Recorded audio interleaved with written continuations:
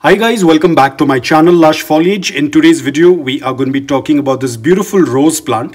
Now, if you're going to take a look at this rose plant, you can see the leaves are very small as compared to a traditional rose plant. The reason behind that is because this is a different variety of rose plant. This is called as either the creeper rose or the climbing rose basically this is one of the rose that tends to climb onto a support. So you'll have to either give uh, some kind of support to this plant in order to grow. And as and when it starts to grow it tends to branch out and looks absolutely beautiful. I'll put up the image of how this plant tends to look like when it is completely mature because this is a very small plant that i've purchased.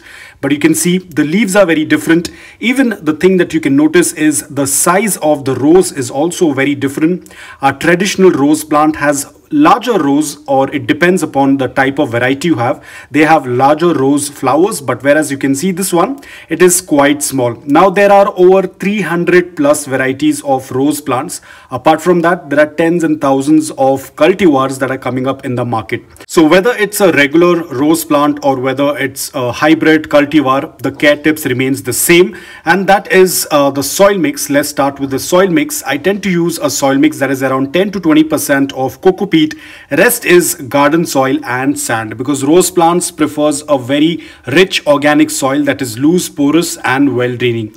Of course, I tend to use a lot of uh, tea leaves, uh, dry tea leaves. Apart from that, my compost tea because rose plant is a very heavy feeding plant. So you need to add fertilizers every now and then. I tend to usually uh, feed my rose plant once a week with my liquid based fertilizer.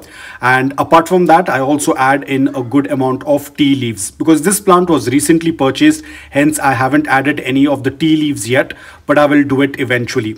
Now you can see the leaves are very thin. This is one another uh, characteristic of a creeper rose. The leaves are going to be very small as compared to the regular rose plants. Now talking about the light, it remains the same uh, for any rose plant. You have to give a good amount of direct sunlight in order for it to get a good amount of blooms. Anywhere around 7 to 8 hours of direct sunlight is going to work out really well. If your rose plant is very mature, it's very large, it can even handle afternoon direct sunlight as well. But you have to keep a watch on the watering because if you're going to offer too much of sunlight the soil will dry faster so you have to keep a watch on that. They do not like to be kept underwatered. If you keep them underwatered you'll start noticing that the leaves will start to turn droopy. Apart from that underwatering and overwatering both have the same effects. You'll start noticing a lot of yellowing of the leaves.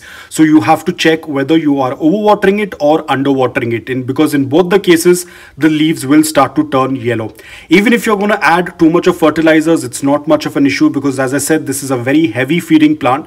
I also tend to use orange peels uh, for them. I dry the orange peels in the sun and I offer it to my rose plant because anything that is citrus based like our orange peels or uh, sweet lime or lime all these peels have a good amount of uh, citrus in it and that tends to work out really well. They tend to make the soil acidic and rose plants prefer a acidic soil. So that is also going to work out really well.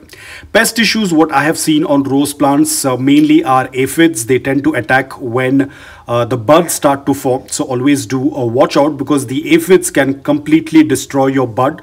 So you can go with any organic solution that you have been using all this while.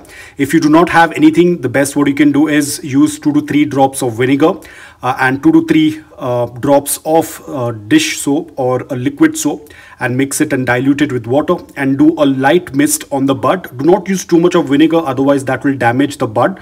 Uh, so use in a very less quantity you can do this during the evening time and trust me the aphids will get uh, killed with this solution so that is one of the uh, solution you can go with apart from that a rose plant is very easy as long as you give the basic care to it that is a good amount of 7 to 8 hours of direct sunlight balanced watering, a good amount of fertilizers, and nothing can stop your plant from growing beautifully. So guys, uh, as I said, I will put up the image on the screen of how the creeper or the climbing rose tends to look like. It's very different from our traditional uh, you know uh, rose plants they tend to grow much like a wider plant or tend to grow a little bit more bushy. But whereas the creeper and the climbing as the name suggests they tend to grow vertically and really high uh, taking up the support of whatever has been offered to it. Even at times, uh, they also take support of the pipes uh, that are present on the house and they tangle along to that and they start to grow. So guys, that's all about it. I hope that this video was helpful to you. If it was, please hit the like button. And if you're new to my channel, please consider subscribing to it.